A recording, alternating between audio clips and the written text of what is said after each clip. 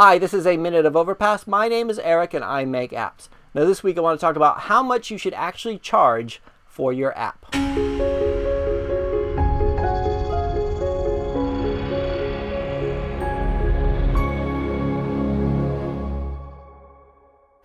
Okay, so this week I want to talk about price. Now, if you're an app developer, I'm actually really curious about price because you know we all kind of are kind of cagey about this and not really talk about you know how much we charge or how many people actually buy the paid version. It's, it's all well and good to talk about the, the downloads and the free versions and all that kind of stuff, but but the paid versions we're all kind of cagey about, so it's interesting. So so this week what I thought I would do is kind of talk to you a little bit about my experience with the price of my apps uh, and you know how that how things have actually turned out and. Uh, and hopefully that helps and all that kind of stuff. So, uh, so basically, when I released my first app called EarSpy, uh, we released a, a free version, uh, which you had like well, ads and uh, uh, like one in-app purchase, which I think was MP3 recording, right? And, uh, we, and we also had a paid version. So like the the free version, I think we charged like 50 cents for each of the in-app purchases, if I remember correctly. this was like three years ago and the, the paid version uh, was was like 99 cents or you know 69p in the in the UK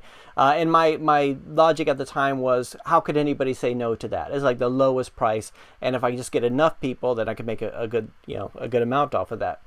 So and what I found was we didn't get all that many purchases. I mean I would get like maybe a few dozen a day. You know some days I would get a few dozen. Some days I would get you know five or six. Some days I would get none.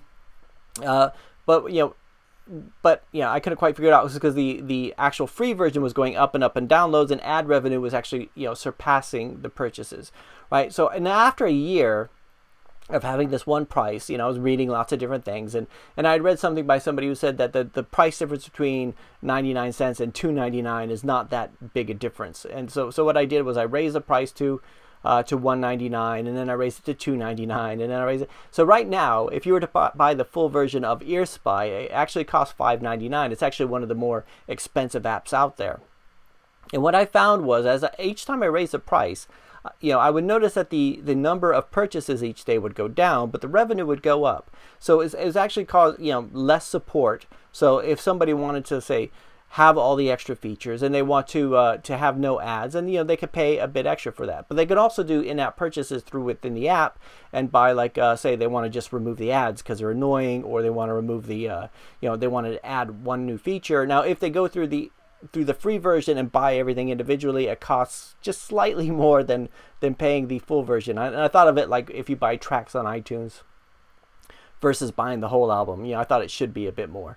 And and I found you know it, what I find, and you know, my whole philosophy on this is that the psychological difference of, of paying, uh, you know, zero, going from free to one cent is a bigger psychological difference than going from one dollar to three dollars. Because once you decide that you're actually going to pay something, then you know that's not a lot of money. You know, the, the, the hassle is going through and, and going through that dialog box. Maybe you have to remember your password for iTunes or whatever and even just something that comes up and said, "Hey, we're going to charge your credit card. Are you sure you want to do this?" And then you think, "Actually, you know, I'm I'm okay. I, I don't want to do that, or, or whatever." So you know, it, it's there's, there's a whole bunch of things in play there that um, you know. Every time when I hear somebody like I'll meet with a client and they'll say, "Well, what we'll do is we'll charge just like a small amount because then we'll get lots of people," or some, or they'll say we'll charge a lot and then you know not have a free version because if we have a free version then we're practically just giving it away. And what I find is that strategy doesn't work at all. Uh, one time I did release a uh, one an app as a paid version only, and it was called uh, Read Racer. So we released the, uh, the the paid version, and I thought this time no ads. We're just gonna you know we're gonna market it really well. We're gonna have a video, all this kind of stuff, and you know it got some downloads, but it was, it was hardly any. It was like I think after a couple weeks, maybe we got maybe ten. It was it was hardly a thing. So so we did release it as a free version.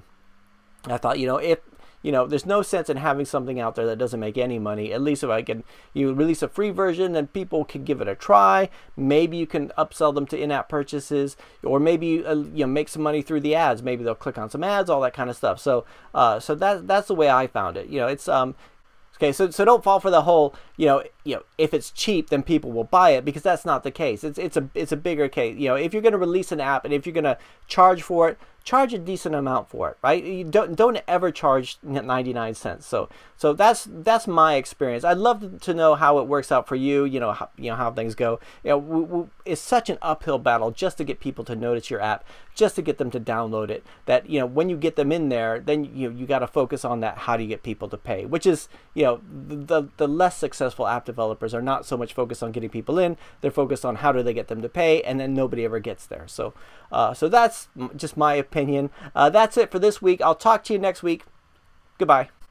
Hey, I really hope you liked that video. Uh, now I do these once a week, so if, if you if you want to hear more or you want to you know hear more about uh, our experiences with the App Store, either Google Play or iTunes, uh, please go ahead and subscribe to the channel and please like this video and and leave a comment. I love reading the comments. I love hearing what you have to say, even if it's just hello or or or whatever. And and like I say before um, if you if you're not sure what to, to say in a comment, like I never know what to say in a comment, I'll make it easier for you. Like if if you liked it, just go ahead and say gnarly, uh, which is an '80s term, or uh, if you didn't like it, just say bogus. And and if you didn't think any of it, just say eh.